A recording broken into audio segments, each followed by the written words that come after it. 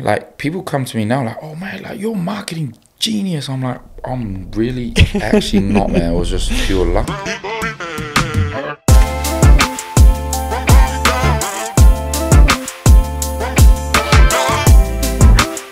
I have the experience, I have the qualifications, I have the expertise. You're just a rugby player. We're taught to not put ourselves out there or like mm. back ourselves, I feel, out of fear. Yeah. Like fear of failure. But like, what if you just knew you couldn't fail? That's why people like going for runs and stuff like that. They yeah. attribute the peace to the run, mm. but that's a mistake. People would be surprised at how much traction and momentum that you can create mm. by doing something truthfully. Nah, that just happened by accident. We were literally just doing it because we were like, oh, running, it's fun. It makes us feel good. Grayson, mate, good to see you. Thanks so much for coming on. How are you? Very good to be here, Olly. I'm very well, man. Good, man. Well, look, thanks so much for taking some time and sitting down. I'm really looking forward to the chat and the kind of conversation to have. I guess we've known each other kind of on and off for, for a couple of years, so I kind of want to start start at the start of your life, I guess, a little bit. Um, the one thing I would say about you is obviously you were a professional athlete for quite a few years, right? Over 10 years? Yeah, I think I did 14 seasons professionally. Wow. Yeah. It's mega. the first thing now is obviously you're a, you're a brand owner, you're a business owner, you're an entrepreneur. That adjustment, that change in your life, what's that been like? Um, it was probably the most refreshing change I've had. Uh, I mean, well, I guess the only living and career that I knew was professional rugby. Mm. Um, I got my first contract when I was 19. Um, and then did that all the way through to I was 32.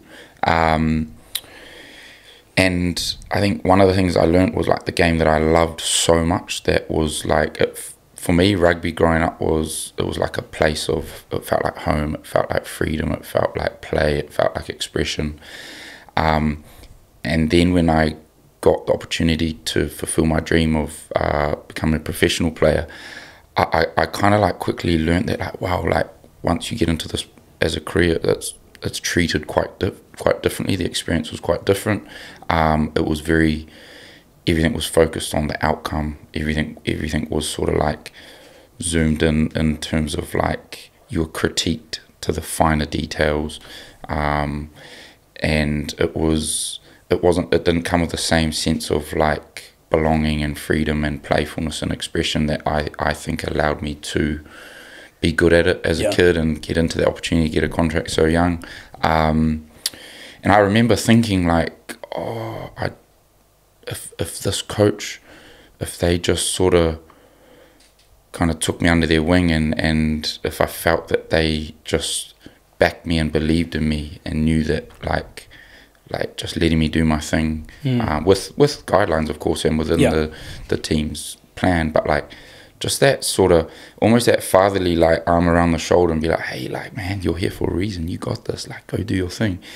I think that's what I long for the most in um, my rugby career, and I think the way in which the concept in which they do it was very like tell you what to do, very regimented, very like harsh, very you know trying to make guys like tough and um, and then so what was so refreshing for me in business was like it was like a clean slate Mm. Uh, I didn't have any expectation of an outcome. Um, I remember being like quite nervous starting the business because I was like, oh shit, I really don't know what I'm doing, but I really believe in uh, this product, this um, you know, this brand that I'm creating, and so it felt like I was back being a kid again out on the rugby field because everything I did there was no outcome mm. aligned to it. It was just like I'm just going to express and learn and play and create.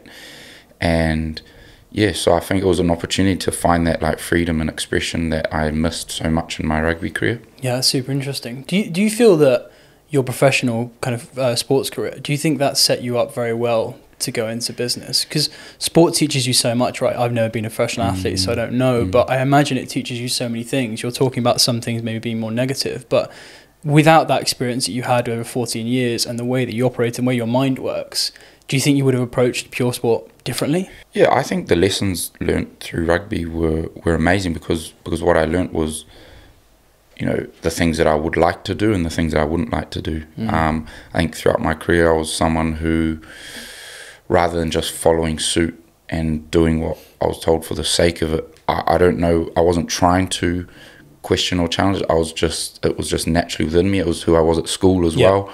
Um, and you kind of get dis- labeled like disruptive or, or a bad kid or um, not interested or whatever early on. But actually, I think you're just much more uh, clear on where you where you want to put your energy and your attention and your focus.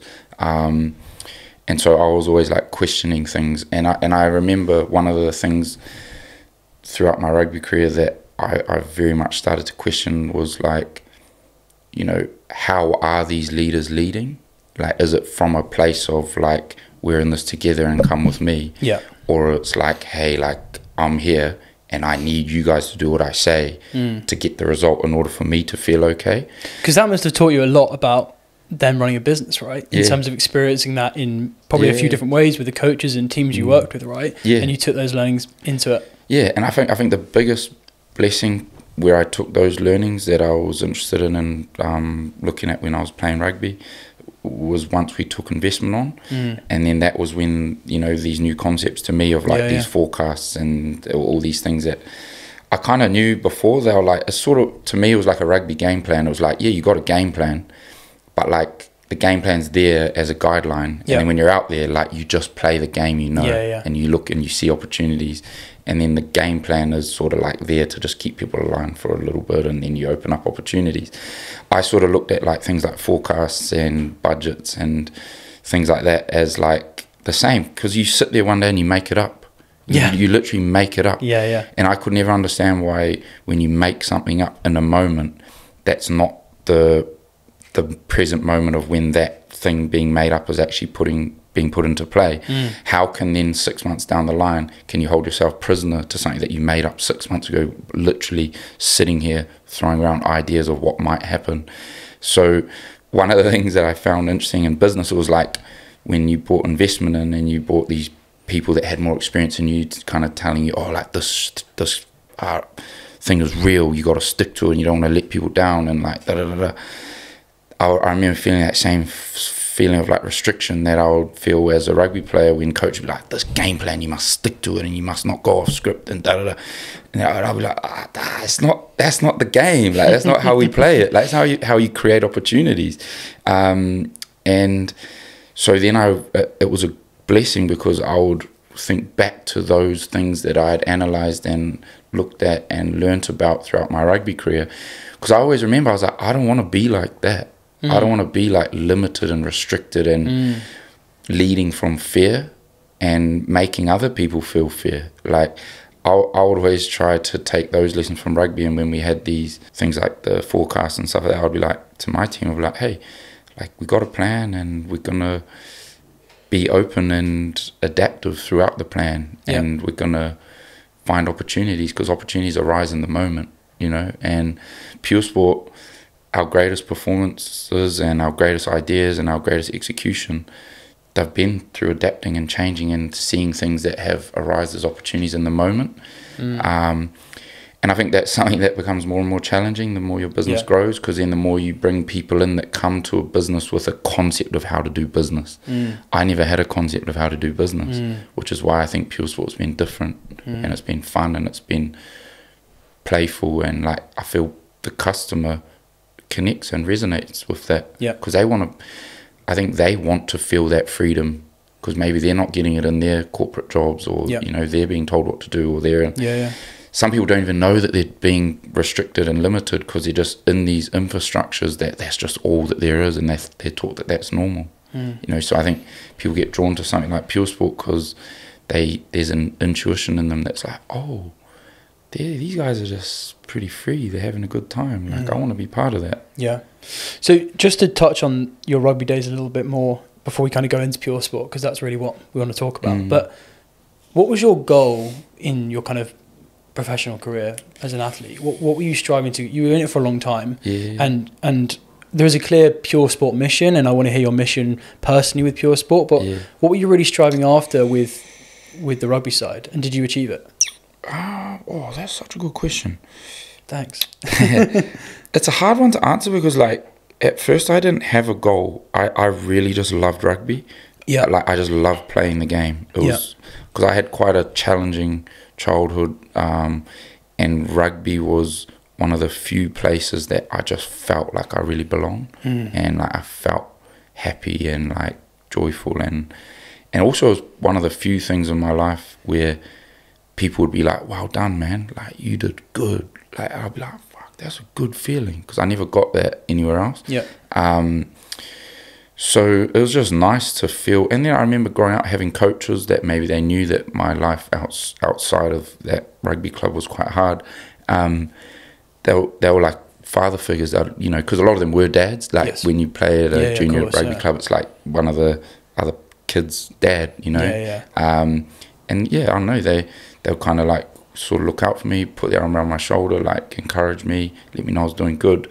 Um, and I just remember one day when I was 17, I just used to muck around at school. I didn't take part that seriously. Uh, and I used to just love playing rugby and hanging out with my friends. And, you know, I'd learn some stuff and I'd, I was having more fun questioning the teachers about why we're doing certain things or why, why don't we learn something like this or why, why, why do we have to learn that? Um, which didn't go down well with some of them. Some of them kind of enjoyed it. um, but I just remember one day when I was like 17, I was like, they kept talking about like university or like apprenticeships and like then I was sat there I was like fuck what am I gonna do shit like the real world like I'm not Yeah. gonna be able to just come here and have fun anymore with my friends oh and then I was like oh I want to try to become a rugby player because that that was like an option for me Yeah. that's what th- that moment conceptualized that as an option for me for a career Yeah. whereas before I'd never thought about that Mm. I was just playing it because I really enjoyed it Mm. and also by that point I was getting a bit older and like playing for the rep teams and stuff. Yeah. People thought that was cool and like girls thought it was cool and like, you know, things like that. So I was like, yeah, this is cool. I like making the rep teams and that.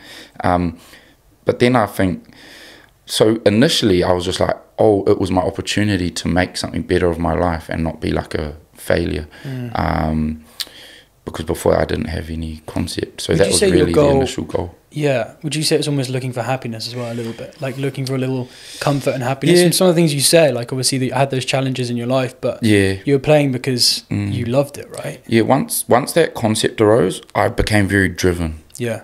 I became like very like laser focused. Like, oh, I'm gonna work hard now. I'm gonna like train hard. I'm gonna get real fit. I'm gonna refine my skills. Because before that, I was just like playing around. Mm. Um, so I remember like I'd go to the park and I'd like kick the ball around. I'd pass for like hours and I'd do like sprints and fitness and like. But I was still like I was still having fun with it. Like my training would be like I'd race my friends and we'd practice like we'd sidestep each other and we'd kick, we'd Yeah. like kick the ball as far as we could and like pass, pass, like. And but it was refining my skills, but it was just like it was fun. Mm. Um, and I think when I had that idea, I remember thinking, I was like, man, if I get a contract, I'm going to feel happy. I'm going to finally feel like fulfilled, like I'm doing something good. Yeah. Uh, because I think growing up in a society like the Western culture that we all live in, if you don't do well in school, if you're kind of getting in trouble, I was getting into like fights and stuff like that, you're made to think you're a loser, like you're a failure, like you're a bad kid. Hmm. But I knew I wasn't. Hmm. I knew I wasn't a loser or a bad kid. I had a good heart. Yeah. I knew my mind was good. I wanted to like do good stuff and, with my life, and like I don't know, I just enjoyed life and being happy and like connecting with people. But I was sort of made to believe like, yeah, like you're a bad kid and you're a failure. So I I think I remember thinking to myself, if I get a contract, man, like I'm gonna feel so good. I'm gonna mm. feel so happy. I'm mm. gonna feel fulfilled for the first time in my life. And I remember I got the contract, and it was such a amazing moment because it came way quicker than I thought it would. Right. Um, because it came out the blue. I just got invited to this trial game. I wasn't in any academy. Some guy got injured, so they needed someone to fill in. And then one of the pro coaches was there, and it was So it was a just little a bit of luck in yeah, it was way, like yeah, luck, like. Wow. And I got there late. My dad, we got lost on the way, and there was only one uniform left, and it was like three XL, and I was way smaller and skinnier than all the kids because they'd gone through this whole like academy yeah. program, and um, but it was my first time like getting an opportunity like that at that level. Um, and then Pat Lam, the Auckland coach, he was there just watching. It was an under 21 trial for like New Zealand under 21s, but I wasn't even trialing for the team. They just needed me to fill in. And how old are you at this point? I was 18, Wow. but I was just filling in, Yeah, like, yeah. because the guy got injured. So I was just there. I was like, fuck yeah, this is sick. Like, it was cool to just play in this. This is a great opportunity. Um, and I just remember my 3XL uniform like tearing around, but I don't even remember the game. But people came up to me after, like, man, like that was sick. And I was like, oh, was it? like, I don't know. I was just going for it, man, because it was cool. Um, and yeah, then Pat Lam came up to me after. He was like, hey, I want you to come do preseason training with Auckland. And I was like, oh, fuck, yeah. And I remember going to preseason and uh, all my heroes were there, like All Blacks, like guys that I admired because Yeah, it was at yeah. the time where Auckland was like in its prime, Auckland rugby, like dudes I looked up to, like Doug Howlett and Jerome Kaino and Isaia Toeava and Ali Williams and Daniel Braid, like legends, like Mm. Sam Tuitupou, guys that had like posters on my wall, and I was just like, wow. So I was just like, thought it was just so much fun to be there Yeah. and so cool. I felt very nervous though. And then I never thought I'd make it. And then he offered me a contract at the end of the preseason, and I played every game that season. We won the competition, uh, and then it was like I was playing on TV. People thought it was so cool. Like I'd go out to nightclubs, and people would be like, "Fuck, "You're the man." I'd be like, "Wow." but I wasn't the man. But I was like, you know, I was like, oh, yeah, cool. Um, but I remember like, so I rode like this. It was almost like a fantasy that first sort of year or so, and everything went so well for me. And then I remember the next season, that kind of like whole like fantasy feeling like kind of wore off, and I started to maybe not. I had a couple hard performances. I didn't play as well or whatever, and I remember the feeling of like I felt like a failure, like that I wasn't good enough, that I didn't deserve to be there. And that was the first time that I clicked that this concept that the, that life gives us that when you get the thing that you believe will make you so happy and fulfilled, it just doesn't work that way. Because then I was sitting there feeling so frazzled and lost with life because I was like, but I thought with every ounce of my being that getting to this point and getting this contract and being this in this career and thing that I thought was going to make me happy, that was the that was the golden ticket to living a happy life. Yeah. And then I felt the opposite, and I was like, holy shit! And it took me a long time to like realize that that's not the case. It's a pretty terrifying. I've been there as well, and it's a pretty terrifying feeling because you kind of feel like you've been working towards the answer. You get the answer, you get what you want, and then it's not. Yeah. It's not how you thought it would be, Yeah. and you're kind of like, well, all this work, all this energy, all this time I've been putting into it, Yeah. is that all? Is that all wasted? I think on mm. the other side, I've spoken to a lot of people in my time, and I always that feeling is always very common in very ambitious and driven Mm. people. I think they Mm. always need to get more and they need to do more in your life. You're never, you know, you're never satisfied in some way because of that. Yeah. Um, but so mo- moving on from your rugby days and, and where you are now, before we get into the amazing band you've been building for the last five years almost, Mm, five years. Yeah. what is your mission personally? Um, yeah, my mission spells from that experience Mm. and achieving something that I thought was going to make me feel happy and fulfilled, feeling completely lost, going down a pretty dark path for quite a long time, trying to find that happiness and peace that I thought was going to be found in something external. My through that, I came to explore and understand, to me and and my experience, where happiness and peace and love and uh, fulfillment truly come from, and Yeah. It's not in anywhere external.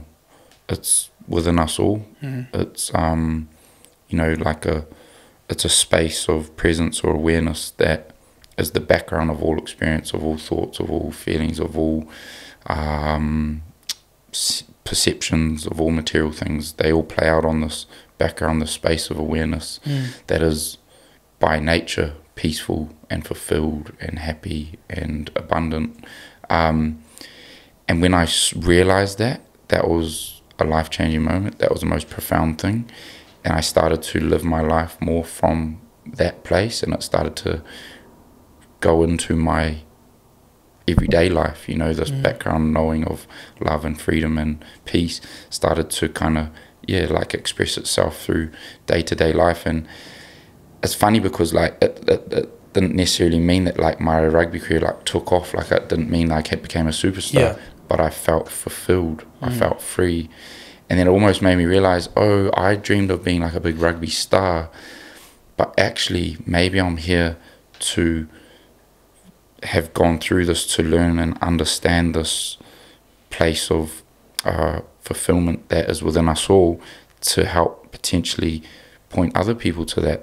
Because what I started to notice is when I lived from this place, um, my teammates would, especially the younger ones, is it not? It was actually not actually just the younger ones. A lot of the older, bigger stars would also come to me like, "Hey," especially on nights out, because rugby is a very like um, bravado game. Yeah. You know, like quite a lot of pride and ego, and like I'm the man. Yeah. Um, whereas when on some nights out and few drinks, some guys would sort of soften and the ego. Some would go the uh, completely the other way and Yeah, just be like, okay, Yeah. big dog on campus, and others would sort of soften a bit. And and those moments when the guys would soften a bit, I'd have lots of people, guys, come to me and be like, hey man, like, what do you know? Like, what is it that you know that makes you, you know, pretty free and peaceful? Like, because you don't get picked every week, and sometimes a coach fucking shits on you in the analysis, but Mm. Like you seem like happy, like and chilled, like, and you're also doing things outside of the game that you you don't really mind what people think. You're just being you.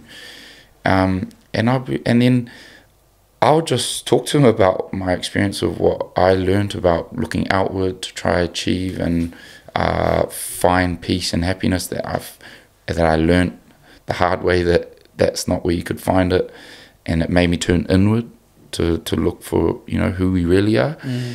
And what I learned was that's not something personal. That's not wasn't just for me. I I realized this this is something available to us all. Mm. Um, and I think my mission since then, and I think Puresport is actually a vehicle to share that mission, uh, is to share that. Like, because I think once you see something like that, you can't unsee it, and then you you can't not want to share it to the world because you realize that the suffering, the egotistic uh, materialism, like the the pain, the greed, the divisiveness that is so like rampant in this world, it stems from people not knowing who they are Mhm. and trying to find more and trying to feel better. Because I, I, no one is inherently like a bad person. Mm. Like people do bad things because they feel lost and hurt and not good enough. Yeah. Whereas I think, yeah, my mission has been to just live that and express it. And I've been so fortunate that like I've started this business from that place of Mm. knowing that. Uh, and I realized, yeah, like for me, when I started, Pure, there was no outcome in mind. I, I literally didn't know anything about business. Yeah. I had no outcome. People used to be like, "Do you have a business plan?" I was like, "Oh, I want to like create these products because I believe in them, and I think that will help people understand that the way that the world's telling us to look after our body through pharmaceuticals and coping mechanisms, and Mm. it's not actually the way. Mm. It's a it's a short term fix or it's a band aid. It's actually probably getting in the way of people feeling more free and um, living healthier. And but I also saw that timing of the industry with products like CBD and mushrooms and nootropics as an opportunity to turn people inward Mhm. into like how am I living my life? Because yeah, this world we live in, man, it's geared to a um, to cater to the ego, and Mm. the ego points you out for more. Do you, do you think too many people are worried about the outcome and the goal as opposed to the journey of getting there? Yeah, I think so because because the outcome or a goal is a concept, right? Like no outcome or goal is a truth. Mm. But there's nothing wrong with having ambition, and there's absolutely nothing wrong with having a goal. But if the if the goal and the ambition is a pursuit with the idea of that you're gonna feel more or Mm. better when you achieve it, it's coming from insecurity. hmm Whereas if you know in any moment, I am the ability to be happy and fulfilled is right here within me now. Uh, you can if and if a goal arises from that place, that's a beautiful goal. Yeah. Like that's different, you know. And and don't get me wrong, like it will there'll be times where the the the ego or uh, pride or whatever will come if you if a goal or an ambition arises from that place, the ego or the pride will like come in and try to like hijack that goal. Mm. But it's it's normal. You just question where you're coming from. How do you feel? Do you feel bound up? Do you feel lacking? Do you feel agitated? Do you feel stressed when you're pursuing something? Or do you feel free and playful and open and present? And then that's the gauge because I think stress and pressure and agitation are it's your body's sign and signal that you're doing something from the wrong place. It's not necessarily that what you're doing is wrong. Mm-hmm. It might be what you're doing is wrong, but it's actually it's your body's signal to be like, hey, like come back inward and explore where you're coming from with this pursuit.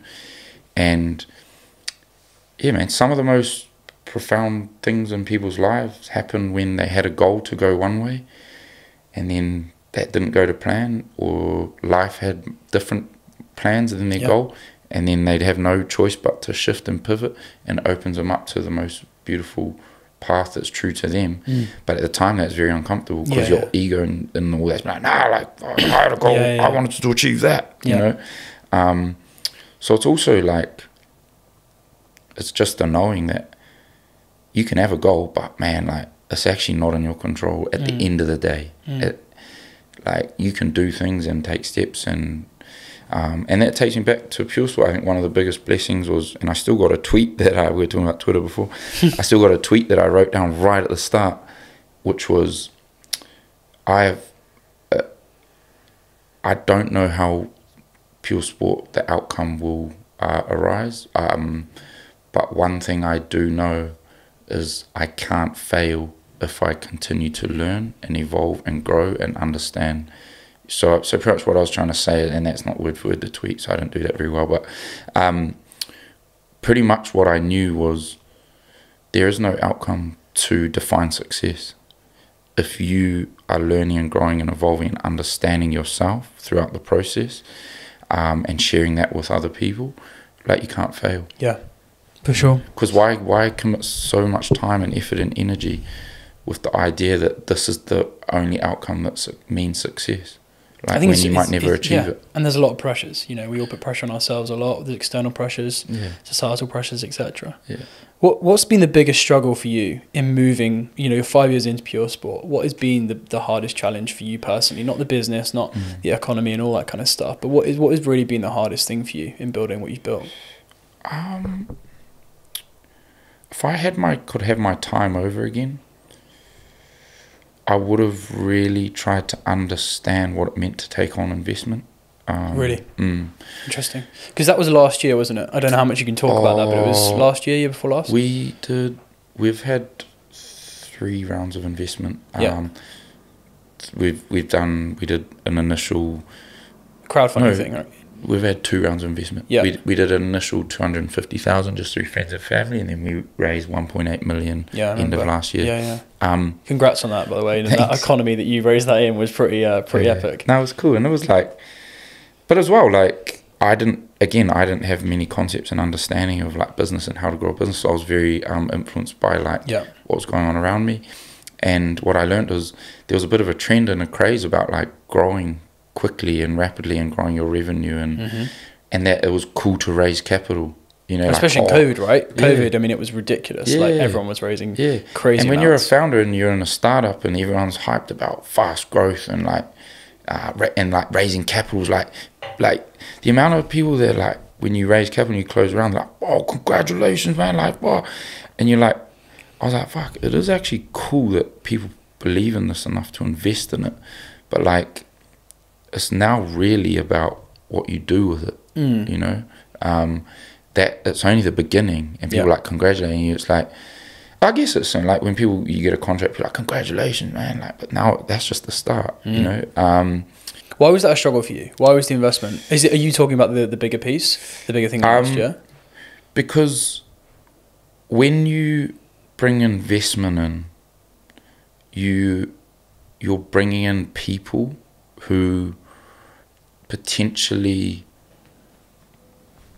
especially if the business was created as a vehicle to express a passion of showing people and pointing people inward to who Mm. they really are Mm. um, that has to come with a lot of authenticity. Yeah.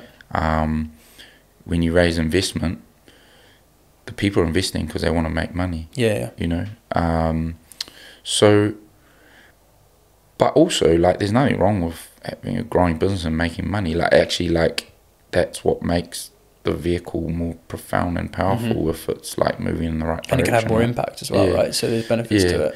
so i think the that that's just been a challenge it's not a bad thing No. it's, it's been a challenge to learn how to balance that Mm. and how to um, be aligned with people that are maybe in it for different reasons and Yep. the purpose. Um, because what I have learned is like there are some profound business people that are just very like their their purpose, their drivers to, to make money Mhm. and like up fair At all costs as well. Yeah. yeah, yeah. No matter what. And like good on you, man. Like yeah, yeah. fair play. Um, You said at the start of that, if you had your time back, I'm reading between the lines a little Mm. bit there, but Mm. would would you have not raised the capital at the time? Would you have done it in a different way or anything like that? I would have liked to have understood the change in dynamics that it would have created Mm. to ensure that I was equipped and aware and, and but also by understanding that like I, I would have made it really clear to the people that invested are you on board with this mission Mm. like because this is the number one but I, I I actually think that Puresport's success is I think it's 100% down to the mission. Like Interesting. because um it's not that hard to create a brand and create a product. Like you don't actually need that much capital and a lot of things that are out there are there's multiple versions of them Yeah, I mean, I'm sure you would say that some of your products there are very Yeah. similar opportunity, like Yeah. cheaper or similar, or whatever. But it's not. That's not what makes it successful, yeah, right? yeah so i think people buy into feeling part of something Yes. and uh, for me, Puresport and the products, they're an opportunity, like I said, to like point people in, challenge the status quo, question the, the the concepts that I feel are holding people like in Mm. place, and um, so yeah, I think that I, I'll just I would have liked to have understood it more clearly. Um, but again, it's just an ongoing opportunity Yeah. to, to continue to do that. It's not it's not a bad thing. Mm. I think being able to raise capital and have people believe in your, your mission and your vision, like that's a, such an amazing thing. And it's It's something I've always been very grateful for. Yeah, yeah, definitely. Yeah. And I mean, we're gonna we're gonna talk a lot about Puresport, but before we do, what what do you feel now, going through the change you've gone through as a as a business owner, as an entrepreneur? What, what do you think one of the biggest myths is that really exists around that? One of the biggest myths, if you, from my perspective anyway, that that that anyone knows better than you, and that's going to mm-hmm. sound quite.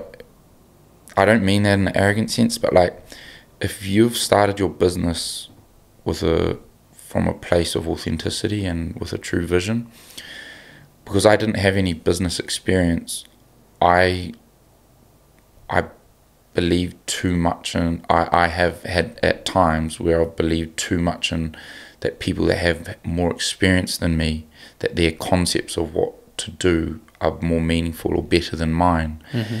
Whereas a concept's a concept. A Mm. concept's a recycled idea, Yeah. right? And actually the most profound and impactful ideas are fresh and current and in the moment. Mm-hmm. And you have started your business. You had the an amazing idea Mm. the fact that you're building something, that you're doing something that these other people are interested enough to give you advice, you should take massive confidence in yourself. Mm. And the thing that my biggest learning and advice would be is speak to people, respect people, be grateful for their advice, and take it as an opportunity to question yourself and your ideas and help refine your direction. But never take any advice as gospel and never implement advice in just black and white, like, oh, I'm going to take that and do that as they say it Mm. just take like you know yeah you you have started something you have created it you are on the path that you're on because that's what's within you, are. Yeah, yeah. so Sure. don't question that back it and use these things to allow that to bring the best out of you Mm. rather than be like oh because there's been times where I'd be like, oh yeah, they've got X amount of experience and they've built this and they got this idea and they're telling me that. Mm. And because of someone that doesn't have a background or the experience, then I'll be like, oh yeah, I'm going to take that and do that. Yeah. 99% of the time, that, that those ones didn't work. Mm. What did work is if I would have an idea or a direction or a, a, a way that I wanted to go or something, and I felt that I wanted to like get advice or or learn from other people. Yeah. I would hear what they had to say and I would use their perspective to question my perspective, and then I'd walk away and I'll maybe tweak my perspective or change it, or I'd, I would actually hear it and then I'd be like, "Fuck, nah." I'm, I'm on the right path here. I'm gonna back my 100%, Mm. or I'll take their information, their concept, and question mine, refine a little bit, and then go. Those are the things that were the most powerful Yeah. um, because this world teaches us to do things by like a, a a textbook, like recycled ideas and just do it. It never works.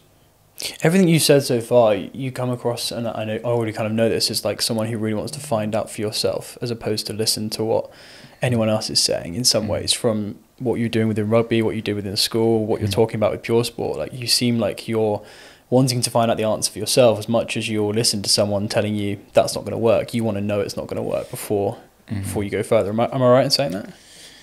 Yeah, I think so. But it's all. I think it's like we're taught to not put ourselves out there or like Mm. back ourselves. I feel Interesting. um, out of fear. Yeah. like fear of failure.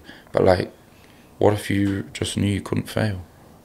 Like you Yeah. can't. Like failure is a concept. Yeah. yeah. Like some of the greatest things in life have come out the back of what people would have labeled as a failure. Mm. Um, and My favorite is WD forty. You know the spray. yeah, It's called WD forty because it's the fortieth attempt, and that's why it's called WD forty. Stuff like that There is you go. just That's little cool. things, you know, the light bulb, all that stuff. It's so true, and I think that you're completely right, and I, I completely agree with you that failure is just a weird thing that people are so f- afraid of Yeah. talking about and discussing, and Yeah. and even doing themselves. You know, they just always want to be successful, and yeah, and I think it's becoming more of a thing within social etc that people are starting to speak about their failures a bit Yeah. more have more of that conversation around those things yeah, yeah. um Because I think the concept of failure is, is even just like the whole idea that failure, what it means, it's not real. No. Like nothing's final. yeah and it might not be the way that you thought it would be or it might have to change in a whole different direction but that's not a failure. No. Like you're you're still who you are here and now in that present moment. You're just stronger. Yeah and i yeah and like i think people fear fear things not happening the way they would like it or the outcome not going the way they would like it so much sometimes that it just stagnates them. Mm. Whereas I, if you speak to people that something completely hasn't gone to plan and what people call a failure, I would say if you question them how they felt in that moment within themselves of who they were, they would be like, I'm the same person. Yeah. I'm, I've still got the same capacity to live my life and enjoy my life and Mm. express myself on the other side of what people are calling a failure yeah and that's something unbelievably liberating. mm. Like you, you almost become like uh, indestructible and infinite because it's like, oh, something I feared so much, as and it seems so bad, and that I really didn't want that to happen, and now I'm here, and then you're and you're like, fuck, I'm all good. Wow, now what can I do? yeah you know. And I learned that um, the thing I feared the most growing up was uh, my dad dying. And when I was 21, my dad died, and I went through the worst time because that was like the worst possible thing that could happen to me. And then I was kind of I went down quite a dis- destructive sort of a path because I was like, "Fuck this world, man!" Like took Yeah. away the one thing that I never wanted to lose, and and then I remember one day I just woke up. I was like, "Man, like, hey, you can't live your life this way." mm. and then and then I had this like feeling of just like peace and I was like the, the, the thing you feared the most in life happened but if you really look at yourself you're okay and then I and then I I just took that knowledge that I'm okay that that could never leave me Mm. like even in amongst the time where like the thoughts were sad or the circumstances weren't good or the feelings weren't good it wasn't a feeling. It was just a knowing. It was the background knowing of where the feelings and the thoughts and the perceptions were arising. That that was okay. Mm. And I was like, oh, that's who I am. And the worst thing that I could ever dream of happening has happened, and that's okay. And that's who I am. I'm just going to live from there. Wow. And then and then I was like, fuck, that's that's that's what people mean when they talk about resilience. Mm. Resilience isn't like a thought or a concept or an idea. It's just the knowing that It's almost an action, right? It's almost partly an action of resilience in some way because you got to go through that process and go through those experiences to gain it, right? yeah yeah. Well, I think a kid is resilient, and Mm. they've not gone through really any experiences Yeah, yet, it's like true. much. And and I think it's because they didn't have a concept of what they might lose or what's bad. You know, like Yeah. a kid saying perceive like they fall down and they hurt themselves, and then once that initial pain is gone, like the physical pain, they're like, yeah, I'm cracking on with life. Yeah. you know whereas as we grow we get these concepts of oh that's bad that shouldn't happen to you and you hold on to the thought of that and they layer up and Mm. you i think our natural state of being is resilient Mm. and free and creative uh, but so so actually going through something really hard and difficult it blows that concept apart Yeah. If you allow it to Yeah. otherwise you just if you don't allow if you don't allow yourself to look inward to see that now you're actually good you you keep layering up concepts and you get further away from Mm. your your resilience and your peace and your freedom Amazing. um yeah Wow. So let's talk about Puresport. It's really the uh, the uh, exciting part, I guess, in some in some ways. I mean, firstly, I'm a massive fan of Puresport and what you guys are doing. I think that exciting to see the next five years after five years of building. Mm. The first thing, obviously, to really understand is we've spoken a little bit about mission and drive. What what what do you define as the mission of a Puresport now? Um, I I think for me, Puresport is it's just a it's a community and it's a space uh, for people to know that you're good enough as you are in a world to me that is trying to tell us that we're not good enough and that we need more. Yeah. For me, Puresport is like a stripping back. Like I I I mean, no one's you can't be perfect, but like I've always done my very best to try to promote the brand and the product and the community in, in a way that like you don't need more. Like you don't need this to be Mm. okay. hmm Know that you're okay and if it makes sense to use this to help optimize you, that's the way to use it. Like I remember uh, someone asked me the other day, um, what product should I use to improve my mental health? And What, Puresport products Yeah. is really? yeah, and because like we have products that help with like cognitive Yeah. function and focus and energy and stress. Um, and I said, and and I was like, man, like that's what's wrong with marketing and selling stuff these days. Is like people are trying to provide a coping mechanism. Or a direct solution? Yeah. Yeah. Yeah. Yeah, and then it just becomes like a, it just becomes another layer, getting you further away from the fact that you're already okay. And you just need to look and see it. Mm. Um, so I think I can't remember exactly what I said, but I said, I said, hey, like, and also like direct message. So I just said, hey, man, like, no product of ours will improve your mental health. Mm. Um, you were to ask me my own personal perspective on that, the only way to know that or, or to improve your mental health is to be here and be present in this very moment. And then you'll start to see that all the thoughts and concepts of why you're not okay, they can't exist here and now. You know? hmm That's why people like going for runs and stuff like that. They Yeah. attribute the peace to the run Mm. but that's a mistake. It's not the running. It's the fact that you're just not attaching to all your thoughts or what's wrong Yeah. or the worries about the future or the concept of the past. hmm You're just here and now. And then, the, but then because we're so, we love cause and effect as Mhm. humans. So we're like, oh, it was the run that caused that. Yeah. And then people get obsessed with running. Yeah. And they're like, running's my savior. Yeah. It's not. It's just being you in the moment hmm and you can be you in the moment anytime. Like you are being you in the moment now. Mm. I'm being me in the moment now. Uh, we're just not attaching to thoughts of like, what I need to do okay to make my business work and Yeah. like what are those people thinking of me and what are oh like that was difficult what I faced in the past. just here and now, and none of those ideas exist. Mm. And so pretty much I try to point him to that, and I said, and then from that place of knowing you are all good as you are, if it arises that you'd like to research like ashwagandha or lion's mane or Yeah. one of these products, and it makes sense to you to utilize that to optimize hmm yourself as you are, not to fix it or as a coping strategy, then that's the way to use the product. Yeah. But it's not to fix you. No. It can't fix you. No. If you think it's going to fix you, you're actually it's it's causing a detrimental effect. You're Mm. getting further away from the solution. It's become another vice or Yeah. a coping strategy. You know, it's why people. There's nothing wrong with drinking a beer, but if you drink a beer to make yourself feel better, then there's a problem because it becomes a vice, right? So refreshing, Yeah. especially from a brand owner to hear this. You know Mm. that stuff because it's, you know, as you were saying, some people are looking at the, the top line numbers and the bottom line numbers, but it's Mm. clear that for Puresport, you actually want to impact people's lives. As cliche as every brand will say, there is Mm. a real drive and passion to do that, right? Yeah, yeah, and like I, I think people would be surprised at how much traction and momentum that you can create Mm. by doing something truthfully. Yeah. Um, and because I've been amazed, man. I'm so thankful I had no idea about anything to a business Mm. when I started. Um, but I've been amazed. Like one of the challenges as business growing, I brought people in with like real expertise.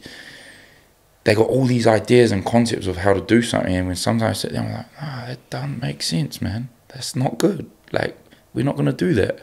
They get real offended Mm. because they're like, no, but I have the experience, I have the qualifications, I have the expertise. You're just a rugby player, and I'm like, we don't like argue, but it's like that's where they're coming from. It's like, Did you feel a lot of that? Just touching on that, did you feel a lot of that in the early days where you felt very underqualified in the rooms you were going? Because I, I felt that. I mean, I started my business at 17, right? So I had mm, sort of age not working my favour, experience not working my favour, Yeah. etc. But did you feel that as well? That kind of feeling of stepping into rooms, feeling out of your depth because of your knowledge, or or do you feel that the passion drove you through all that? nah, because I've when I, what I realized early on in my life that when I had that moment of like, oh shit, like rugby and all these material things, they don't make me better or fulfilled. Like it's within. Mm. And then the thing of like losing my dad and be like, fuck, the worst thing that I ever dreamed of happened and I'm okay. And then that was looking within. It made me realize when I would interact with people, and I saw it through my rugby career, there were some big dogs who earned a lot of money who were superstars. And I would look at them and be like, fuck, you're not all good, man. Like, you're not happy. Mm. Like, you're outwardly like, like you're putting on a, a show like that you're good. But like I see, like you're that's a show because you're not feeling good. Yeah. So, so I think from the, that knowledge, I never felt inferior to anyone. Mm. Like, I would sit with, I would sit through Puresport with people who had earned like, sold a business for like a hundred million pounds or and like done these things, and people looked at them differently. Like, like you're the man, and what what I got to bow down to you. I would never ever battle like from an ego place. I would always just be respectful and know that they had information and knowledge and experiences I didn't have that I could learn from. But I never would look at them as though they're better than anyone else, like or better than me, Yeah. because what you do in life and what you achieve and how much money you have and how much accolades or what, what how other people perceive you, that's not the cause of what makes you all good. Yeah. So I think that was a blessing because I, I don't know, I would sit in meetings with these people that they had this big identity and I, I just like saw them just as same as me. Yeah. Yeah. Same Yeah. person. Yeah. Now, one thing you have got very right with Puresport is your community. Mm. I do say very frequently every time I you you know Puresport comes up in conversation with anyone, clients of ours, etc., that you have one of the best communities in London for your brand. Mm.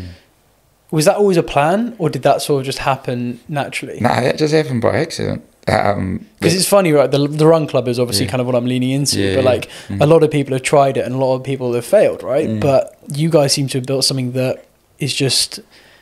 I Yeah. mean, it's it's an incredible level. Not necessarily the size of the people that turn up, which is obviously a lot, but also Mm. the passion behind that. How, how did that happen? yeah, it was just by accident. Um, because again, like the whole concept behind the brand and every ethos, every part of the ethos was providing a place of belonging to let people know you're good as you are, Mm. challenge the status quo, question things, know in this moment you're good. Um, and then as we're building the business, and and as you know, a startup is relentless. It's non-stop, especially for the founder. Like you Yeah. wake up before you're even fully awake. Your mind's thinking of the business, what you like, things, ideas, solutions, issues. It's, it's relentless. Um, and I noticed like I wasn't training as frequently, and because I'd stopped playing rugby, and my Mm. training was very like scheduled and Yeah. outlined for me as a rugby player, so you just do it. And um, one day we were in the office, and a good friend of mine, Will Googe, who loves running, who does these crazy running challenges. Crazy Um, running challenges. Yeah, we were in the office, and I was like, man, like I'm feeling like quite tired and lethargic, and I think it's because I'm not training as much because I'm working so much, and I don't Yeah. have a routine. And he was like, oh, let's just go for some runs sometimes from the office. And I was like, yeah, cool. And then because like big part of our growth was like connecting with ambassadors Yes. and like them sharing through social media. We had a good like network, and then him and I went for a run one day, and I and I went for a run with him, and I came back to the office after the run, and it was like three o'clock, and that was a time where I'd usually feel like started to feel like a real crash and like real unproductive, Hmm. and I just felt like energized. Yeah. I was like, oh, that was cool, man. Um, and then we started doing that more frequently. We invited some ambassadors down, and then one day we were, we were like, this is fun, man. This is cool. I feel energized. I feel good doing it. It's cool to share it with people. Um, and then one day, him and I were running, and then we are like, should we start a run club? And like, yeah, yeah, let's do a run club. Literally no idea, plan, nothing. We just put it out on social media. Um, come meet here. I think about 20 odd people turned up and we were running and but Will is very much aligned to me like he he's just a very um when he interacts with people he just wants people to know like hey like we're in this together. Like Nice. you're with me we're one, we're one and the same. And that was our what we did. We weren't trying to do it. We that's just how we connect with people. We're just grateful that they came along they were sharing it with us and they were part of it. So I think very early on with the run club because there was no material or business outcome or concept aligned to like marketing or anything. It was just we were literally just doing it because we were like, oh, running it's fun. It makes us feel good and Yeah. it's cool to do it with people. Um, it just started to gain traction, and then um, as it grew, and then the team grew, I just said to people, I said, hey, the only mission for all of us who work here at Puresport when we do the Run Club is just interact with people, not in a forced way, but when they're here, just let them know that they belong here. That's all. Like you don't have to tell them nothing, but just when you interact, just let them know like this is a space for you. Um, and that's the only proviso I ever gave about Puresport Run Club. Um, and I think I think that's why people like it because they come along, you don't pay, you've got no obligation to do anything, and people in a place like London, they're just looking to connect with like-minded people with and feel like they they belong. So I saw a TikTok about a week ago or so when I was kind of having a little bit catch up on what you guys are doing about a guy who moved to London. I don't know if you know this guy, but there's a guy that's moved to London and he's come from Nottingham. Um, I'll actually try and send it to you so you can maybe reach out to him. But he's come from Nottingham. He knows no one in London, Mm. and he's made more friends at your run club than anywhere Yeah, else. And he's made a few TikToks about it, and the stories are amazing. Yeah. But that level of connection and that level of not being Mm. a commercial brand and fo- not necessarily a commercial focus, sorry, and actually focusing on community. Mm. Do you think, in a weird way, is one of the biggest drivers f- for the brand? Yeah, man. Like people come to me now, like, "Oh man, like you're marketing genius." I'm like, I'm really actually not, man. It was just pure luck. Yeah, Um, and I think a lot of people, oh, but tho- like stories like that, it's my like I love those the most. Yeah. About Puresport, like because building business can be really hard sometimes, uh, and tiring, um, and you forget sometimes the like that purpose and meaning. Mm. But then those ones always bring me back to, oh yeah, this is why. That's this why is you do why. Yeah. Um, and I think yeah, it's, people often ask me. I get people reach out to me like, oh mate, like I'm starting a business. I want to build it. Like, community focused like you. It's such a powerful marketing tool. Can you give me any tips? And my number one tip would be don't build it for marketing. Mm. Just be a person who wants to connect with people and utilize the business as an opportunity to do that. Yeah. Because I think one thing I have learned is like humans do feel more comfortable when there's like some type of tangible thing there. Yeah. Like if I'm just like, hey guys, come hang out with me, we'll, we'll, all feel like we belong together. People are like, you're weird, bro. Like, whereas if it's like, oh, we're gonna do a run club and it's under Yeah. the banner of this business and Yeah. come hang out. Because actually, like, honestly, man, ninety something percent of those people don't even really come to run. They Yeah. just come to hang. You can go Well, I run think the guy, the guy on TikTok, I, I think he's there for friendship. He's there Yeah. for sense of purpose. He's there for you know. But what the running does is it makes people feel comfortable that there's Yeah. a reason why you're coming to do something. Yeah. Because people are a bit, I don't know, like people don't like to be vulnerable. Mm. So if you uh, you provide a place and a reason, you know, it's the same with like the products. Like supplements are cool, like they're amazing and they can do profound things to the body, but they're not like the answer. No. They're not. They're not going to heal your everything. They're not going to fix you. They're they're actually a symbol or an, uh, or a tool for you to explore yourself and Yeah. understand yourself and your lifestyle more. It's almost like you're investing in saying, okay, if I buy this thirty-five pound pot of capsules, yeah, it might do some cool stuff within my body, but Mm. like, it ain't the answer. It No. ain't the fix. But by doing that, you're taking a step to explore and understand how you can live better Mm. mentally and physically. Mm. Um, it's the same with coming to a run club. It's like, oh, okay, I took that step to feel like I can put myself out my comfort zone. You know, I can be vulnerable and open and connect with people more freely. Yeah. Um, and then I think the cool thing about Puresport Run Club is I see amazing friendships arise. Mm. I see people create their own clubs. I've Yeah. seen people create their own brands. Like uh, I've seen amazing relationships and groups of friends like arising. I'm like, fuck yeah! Like that's just opening people up to the capacity that they have to just be themselves more. Mm. You know? And obviously, there was a kind of what I would call Puresport 1.0, the first version of it with the brand and Yeah. everything. I feel like you're not product led necessarily right now from everything you said, Mm. but were you product led on that first version of the brand? Do you, do you know what I mean by that first version, that kind of Mm. initial phase?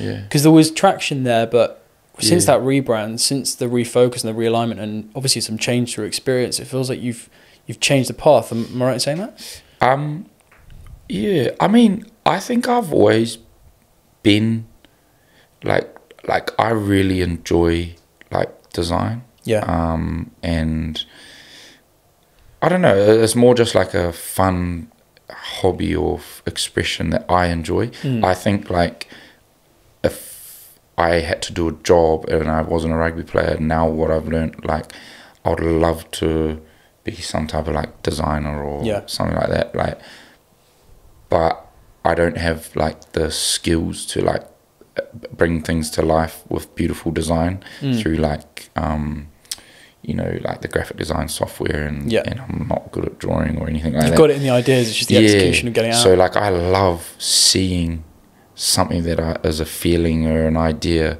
come to life and look beautiful and be like, "Ah, that Yeah. represents the feeling or the concept or idea of what I would have loved it to look like. Mm.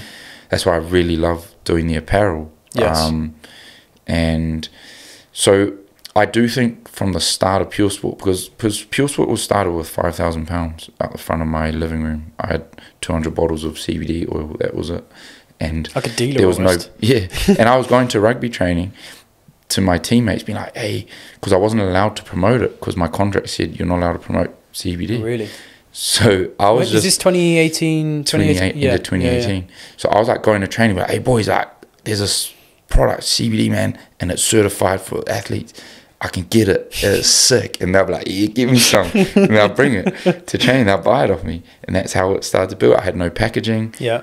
but but just because there was no money to do it, Mm. but like. I remember looking at the bottles and be like, "This is an amazing product. Like, I know the quality, Mm. I know how good it is, but I want every element of it to represent that, and I want it to be something that people feel drawn to as a like like a symbol Mhm. and a meaning.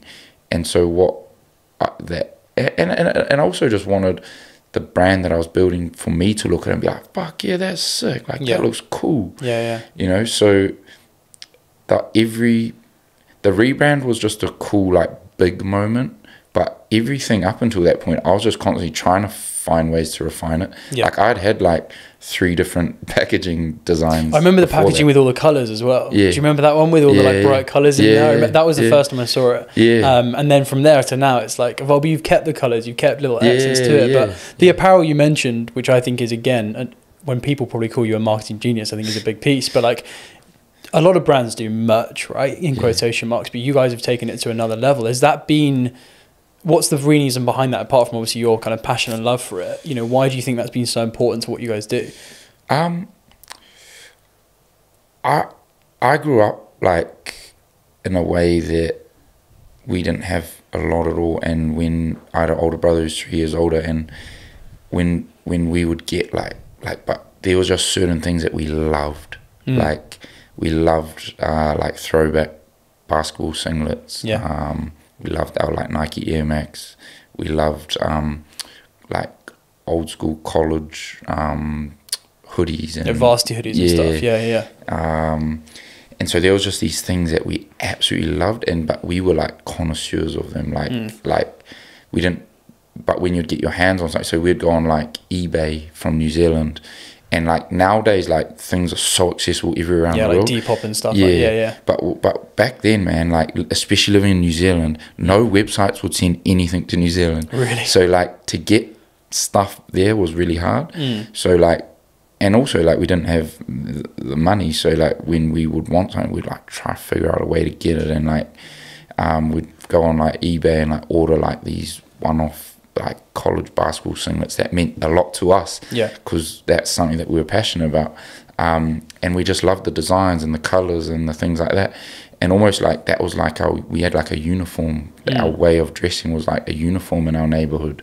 Um, and then you'd trade with your friends and you'd swap your, um, you know, hoodie for his one because, you know, like you couldn't afford to buy a new one, but you'd swap and that was, Yeah. that was your new one. And like, so that's just been something that I've just grown up like was a passion of mine, Mm. and like the detail and the colors and the fonts and all these things, um, and then also like playing rugby and getting your first like club jacket or like your rep team jacket where it said the name across the back. That was more more than a piece piece of clothing. That Yeah. was like wow, like I'm part of this. Mm. It's like know? your armor in a way, isn't it? It's your armor, it's your uniform, Yeah. it's your protector. Yeah, that was like way, a representation of something that you're truly part of, that Mm. you're proud to be part of. So for me, uh, the apparel with Puresport, that was just an expression of my passion for those things that Yeah. have meant a lot to me throughout my life. And then I realized like anyone can, you can buy sick, amazing, cool brands and quality anywhere and everywhere. It's so accessible now. Um, so then I was like, why would people want to buy a Puresport hoodie or a T-shirt? And then the, and then I realized the reason why is because they can buy. Anyone can buy like the Nike Mm. hoodies and all that Yeah, yeah. anywhere, anytime. But people like to have something that they feel aligns to something that they're truly part of. Mm. And for me, Puresport has always been creating a brand and a business that it is something that people are part of. It's not just a transaction. The the product's a symbol, right? Mm. It's it's the the com- the community's a place of belonging. Yeah. Um, so for me, like the apparel was, it's something for people to wear to represent. I'm part of this movement. Um, and yeah, it, it also just happened by accident because I realized it was kind of boring for our ambassadors to just promote the product. Yeah. So I wanted Puresport to, re- and, I, and Puresport always was representing a lifestyle and a way of life and a mindset. So, and then I also wanted an excuse to make some cool hoodies and stuff Yeah, because yeah. that was something I cared about. Yeah. So I just made some hoodies and t-shirts, and uh, the first thing was like a hoodie, a t-shirt, a hat, and a basketball singlet, and they were all just things that I wanted to wear. Um, so I just made those, but I made them for our ambassadors, and I remember I only made like thirty of thirty or so things. Yeah. But I just made them to the highest quality and as cool as I could because I was like, no one likes that protein powder brand t shirt that they send out that kind of shrinks in the wash, Mm. peels off, and isn't actually that cool. Yeah. Uh, But if I can create a hoodie and a t-shirt and a hat that people think is cool and they just want to wear it, then the return on um, them wearing that and the feeling that they get when they wear it, that's gonna do a thousand times better job than me spending cheaper and money on buying getting a t-shirt that's kind Yeah. of shitty. Yeah, yeah. So yeah, and it sort of paid off because then like they were wearing it, and I'll just notice our ambassadors who had cool like some of our ambassadors sponsored by like Nike and Adidas and all these cool brands, Mm. but they were wearing the Puresport hoodie in their Yeah, own time. So I was like, Fuck. and then people started messaging me like. Oh, can we buy the hoodie? and then I actually would feel bad because I'd be like, "Oh, you actually can't buy the hoodie." Not because yeah. I'm trying to be an asshole, but No, like you- I just don't have yeah, any. yeah, yeah. I can't. I don't have enough of those hoodies. Yeah. That must be an Um, amazing feeling. Yeah, it was In a very kind of subtle way Yeah. that, that they really want to do that. Yeah. At, at, at first, it was like, yeah, I was like, oh shit, that's cool. Like, the most amazing feeling was seeing ambassadors wearing the hoodie in their own Mm. time. I was like, fuck, that's cool, man. Yeah. Um, and then when people would ask, I didn't allow the feeling of like, that's cool, because I just at first you feel bad, because I'm like, fuck, I feel bad saying people they can't get something they want that I feel like I should be able to provide to them. Mm. So then eventually I was just like, oh yeah, I'm gonna make like fifty of each of these and like sell them. And then doing that, the margins are so bad. Yeah. It's not a good like Yeah. business thing. Yeah. But I was just like, I just feel bad telling no to people all the time, so I just want Yeah. to provide it. And then it, that's just how it kind of Evolved and from evolved. there. Yeah, ama- and Yeah. now, I mean, you have a pretty large scope of, products within apparel, right? yeah, yeah. We do like we do apparel drops like every few months, and we do about like ten or twelve. And they sell items. out fast as well. Yeah, sells out quick, and then I know I ride my bike around and I see people wearing the socks and the hoodies. I'm like, yeah, fuck, sick hoodie, and they're like, yeah, and then some of them like, oh yeah, that's you, yeah. I'm like, cool. And then other people look at me like, who's this weirdo telling me I got a cool hoodie? But Yeah, yeah. yeah, And and obviously, you know, as a brand, you have such a range of products. You've got everything from the nootropic side, obviously the CBD side as well, the mushrooms, etc., the apparel. You've always had a very interesting outlook from the kind of content that you guys put out around, you know, pricing and discounting. Obviously, we've just gone past Black Friday, Mm, and every Black Friday, we always hear from you in some way around that. Mm. Do, do you think brands are getting it wrong with just always discounting products, always doing bundles? And and what's your perception? What's the brand's perception? Because I really enjoy the way you look at it. yeah. I, well, I just think of it from my perspective. Like, if I see a brand always discounting all the time, I just don't trust, like, the price. Mm. Like, like why is that? Why do you have a retail price if you're just constantly on discount? Mm. Like, let's just be transparent. Yeah. Like, I don't know. It seems like you're trying to fool people into buying something because it's on sale. Mm. Like, just let, just have your price as your price, and and back your product, and just people buy it if they like buy it at the fair price. Yeah. Like, just be transparent. Um, and and the the reason we do uh we do like two sales a year is because these products are new to a lot of people Yes. and a lot of people are sensitive to the price or they don't realize like how they can utilize this product and it's new to them so they're learning and so my concept of um, and Puresport products aren't cheap because we do Mm. manufacture them in the, the highest quality way possible and get the the highest quality uh, raw ingredients and um, so we're not like cutting corners so our products aren't cheap Yeah. um, and so I, I look at the doing a sale as an opportunity for people that are curious and questioning it, but the they don't understand what it might do to them or how they can utilize it, and the price is a barrier to that. We do sales as an opportunity for them to try something for the first time and see if it's for them, Yeah. um, and and removes that barrier that some people have, um, and then as well like people that love it and they are loyal. Like I'm like, wow, man, stock up if you want to stock up for a year, go ahead. Like, Crack on. yeah, Nice. yeah. So what is got what is 2024 kind of got in store for you and the, and the brand? You know, what what are you wanting to achieve in the next sort of 365 days? Yeah, I just want to continue the inward path of being happy and peaceful and express it to the world. Mm. And my hope is that Puresport will continue to be a, a really cool vehicle for that. Um, and I think if that is the case and that is how the brand continues to grow and evolve, we will continue to draw more people and gain momentum and um, yeah, like help people understand like, hey, like you don't need more. You don't need to achieve something. Doesn't matter what your past was. Like you're good. Like you could sit in a room with a dude who sold his business for a hundred million, and you might have just come out of uni, and he's no better than you. Like Mm. you're good. You could teach. You could teach him a thing or two, Mm. and he could teach you a thing or two. But it's all fun and games.